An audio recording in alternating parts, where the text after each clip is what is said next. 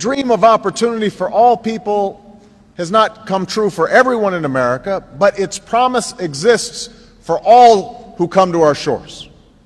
And that includes nearly 7 million American Muslims in our country today, who, by the way, enjoy incomes and educational levels that are higher than the American average.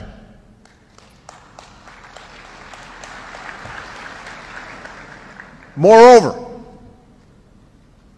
freedom in America is indivisible from the freedom to practice one's religion.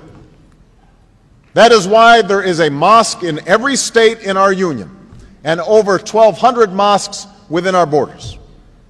That's why the United States government has gone to court to protect the right of women and girls to wear the hijab and to punish those who would deny it. So let there be no doubt.